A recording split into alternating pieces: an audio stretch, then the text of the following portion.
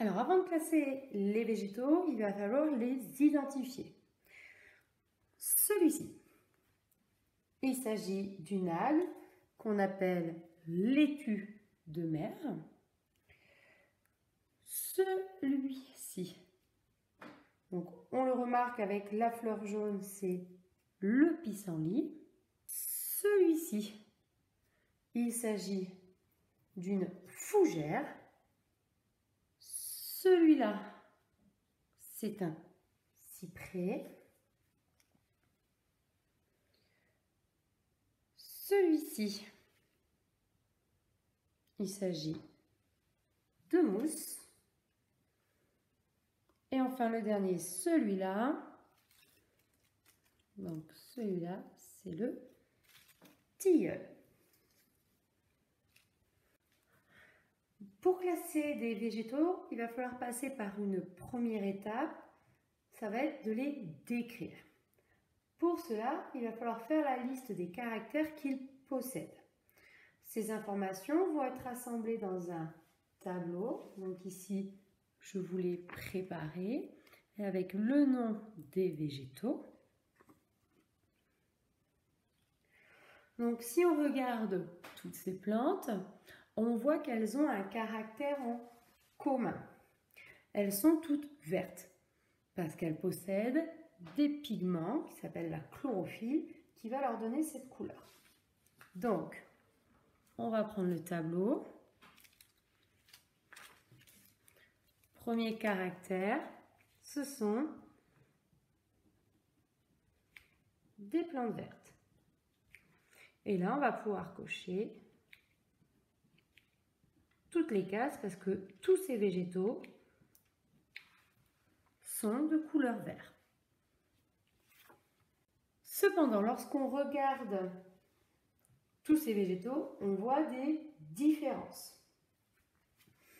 Si on regarde le pissenlit, le pissenlit a des tiges et des feuilles.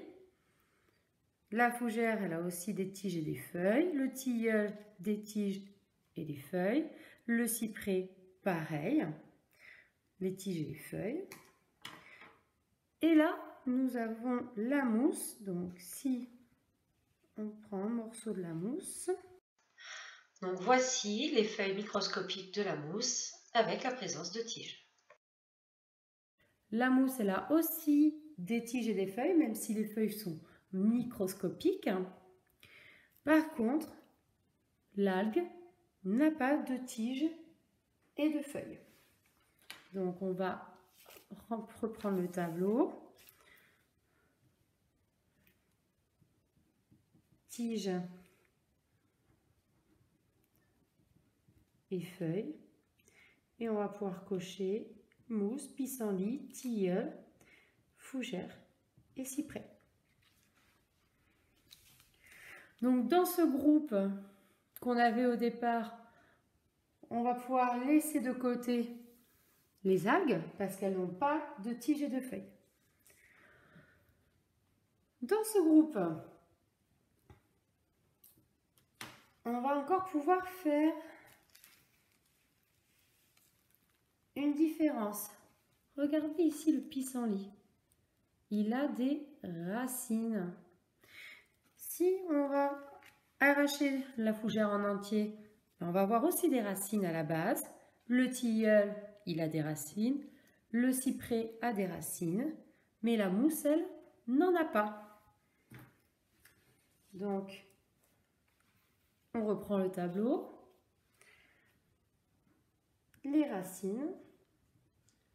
Eh bien, il y a des racines chez le pissenlit, le tilleul, la fougère et le cyprès. Donc, dans ce groupe-là, on va pouvoir refaire un autre sous-groupe avec le pissenlit, la fougère, le tilleul et le cyprès. Et la mousse, on va la mettre de côté. Pour différencier euh, ces végétaux, on va s'intéresser à la reproduction. Et notamment à ceux qui produisent des graines. Le pissenlit, il a des graines. C'est la partie où vous vous amusez à souffler pour les disperser. Le tilleul, bah, il a des graines qui vont être cachées Voici les graines de cyprès cachées. Le cyprès, il a aussi des graines.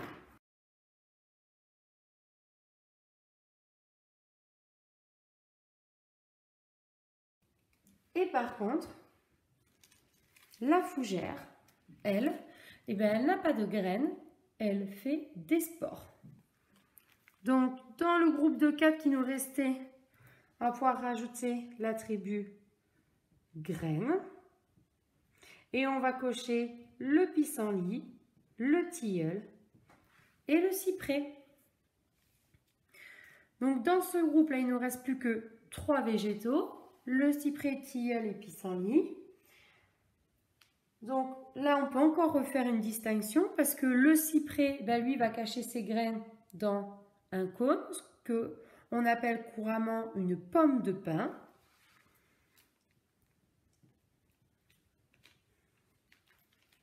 Donc cône pour le cyprès. Et le tilleul et le pissenlit, eux, vont faire des fleurs qui donneront des fruits et qui cacheront les graines.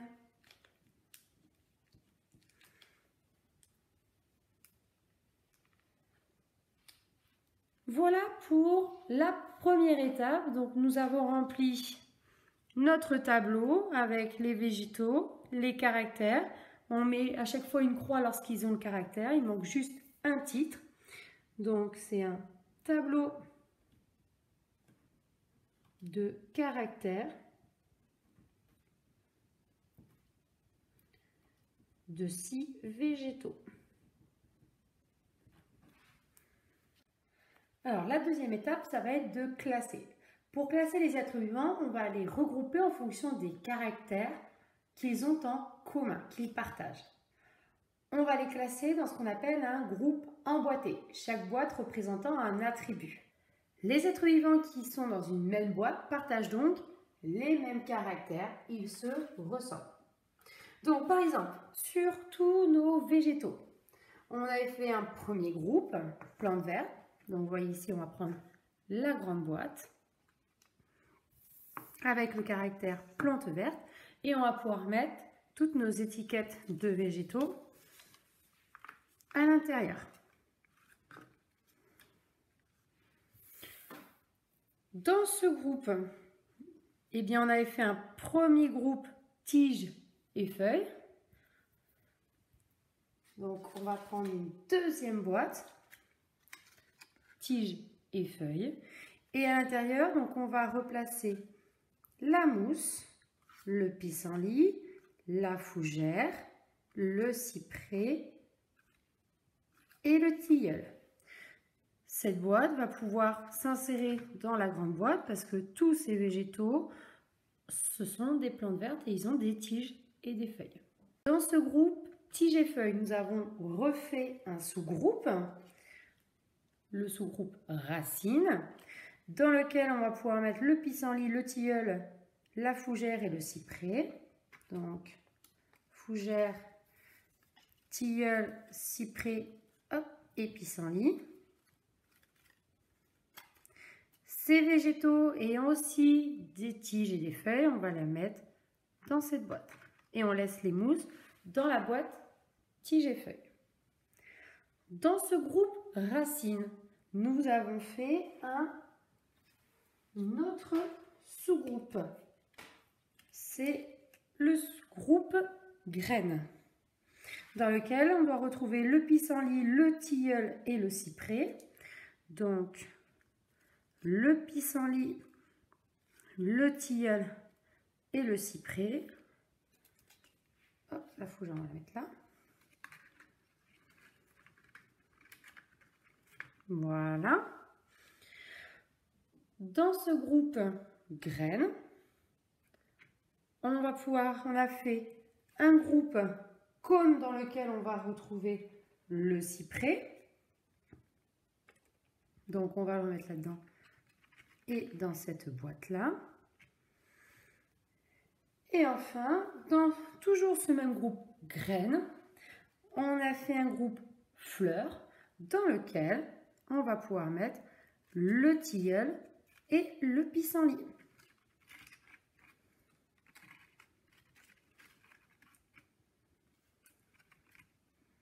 Donc lorsqu'on regarde ce système, donc si on regarde là le tilleul, il fait partie de la boîte fleurs, ça veut dire qu'il a des fleurs. Cette boîte fleurs, elle est dans la boîte graines, qui va être dans la boîte racine. Cette boîte racine se trouve dans la boîte tige et feuilles. Et cette boîte tige et se trouve dans la boîte plante verte. Donc maintenant, nous allons voir comment représenter ce système emboîté en 3D sur une feuille de papier. Donc, l'objectif, ça va être de représenter l'empilement de ces boîtes sur la feuille. Et pour ça, il va falloir donc commencer par la plus grande boîte. La plus grande boîte, c'est celle qui est en bleu ici, celle qu'on repère ici dans le tableau. Ça va être la boîte plante verte. Donc sur la feuille, on va dessiner un grand rectangle. le mieux c'est de le faire à la règle sur vos feuilles. Et cette boîte, elle a un nom, plante verte. Dans cette boîte, on va trouver une autre boîte que l'on a ici en rouge, c'est tige et feuille, qu'on retrouve ici dans le tableau. Donc, on va pouvoir dessiner la boîte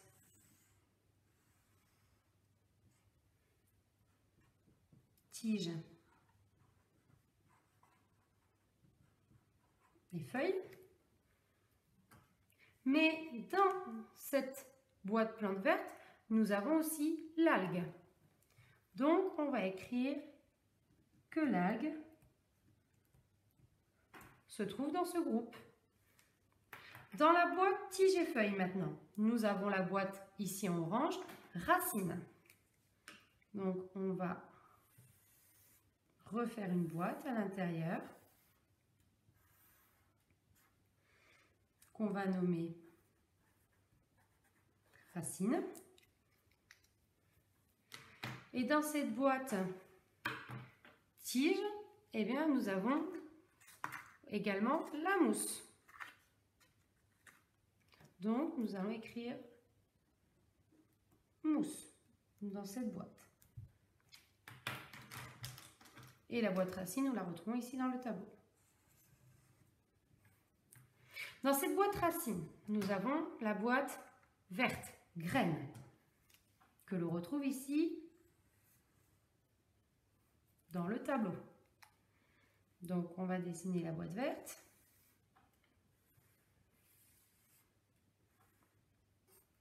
Graine.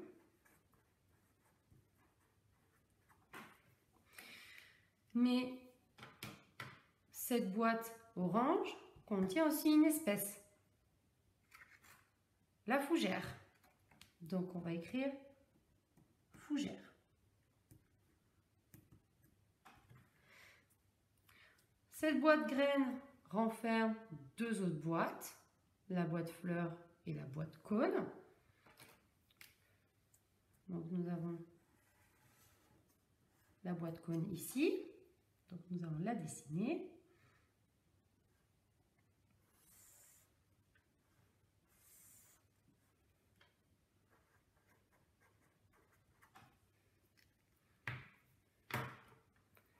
La boîte fleurs qui est là.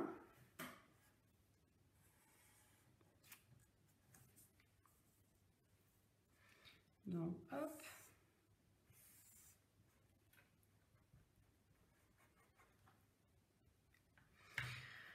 Dans cette boîte cône, on va retrouver le cyprès. Et dans la boîte fleurs, on va trouver le tilleul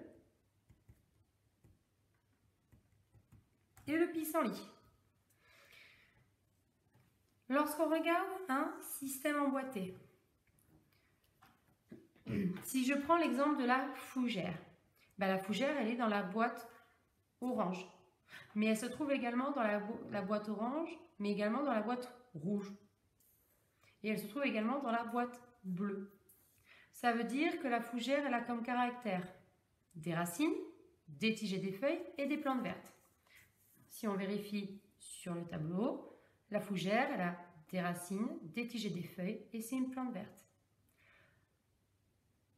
En fait, lorsque vous lisez le système emboîté, vous allez devoir retrouver tous les caractères des végétaux. Donc là, le cyprès, euh, le cyprès, il, a des cônes, des graines, il a des racines, des tiges et des feuilles et des plantes vertes.